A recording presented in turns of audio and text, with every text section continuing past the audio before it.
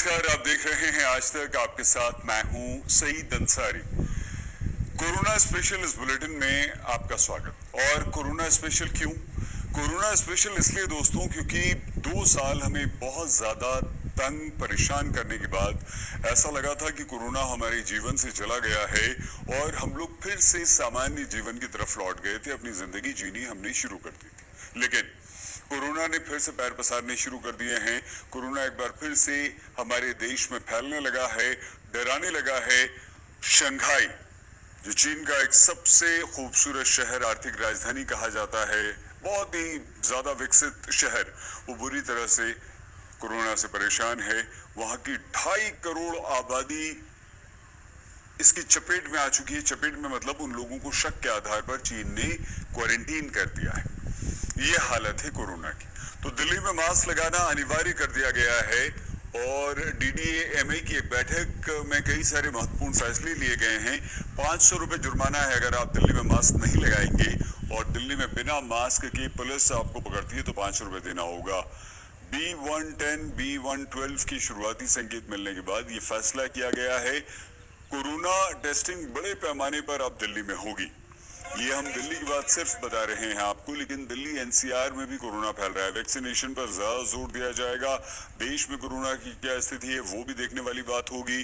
और कोरोना अगर फिर से फैल रहा है तो कैसे? सामाजिक समारोह पर सरकार की कड़ी नज़र रहेगी। क्या सामाजिक समारोह? जो पब्लिक गैदरिंग्स होती हैं। लेकिन दिल्ली में स्कूल बंद नहीं होंगे, ये एक फैसला तो कम से कम एक निर्णय तो हमारे सामने आ चुका है कि स्कूल फ़िलहाल दिल्ली में बंद नहीं होंगे।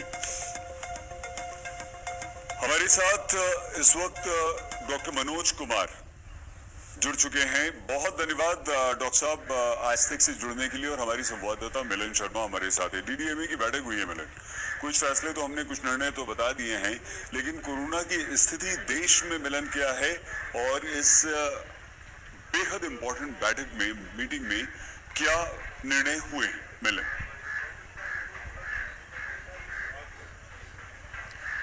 बिल्कुल सईद, और जिसका हमें डर था, वही होता दिख रहा है। अब दिल्ली में भी कोरोना के जो केसेस हैं, वो बढ़ रहे हैं। दिल्ली एनसीआर की अगर हम बात करें तो पिछले दो दिन में जितनी वृद्धि हमने पॉजिटिविटी रेट में देखी है, उसके बाद जो डीडीएमए की बैठक थी, वो बहुत ही अहम बैठक थी, और उसमें कुछ अहम और कड़े निर्णय भी लिए गए हैं। पहला कि मास्क अब अनिवार्य किया जाएगा फिर से ये निर्णय लिया गया है। दूसरा अब टेस्टिंग फिर से बढ़ाई जाएगी शुरुआत कर दी जाएगी टेस्टिंग की। लेकिन एक ये बहुत राहत की खबर जो इस मीटिंग से सामने आई है वो है स्कूल बंद नहीं होंगे। और काफ़ी अभिभावकों से हमने बात की थी काफ़ी सेक्शन से हमें बोला गया था।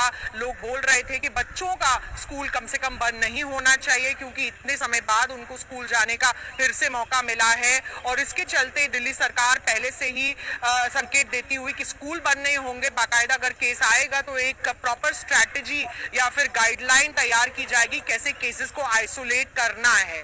लेकिन जो मास्क मैंडेट है उस पर फाइन भी लगा दिया गया है।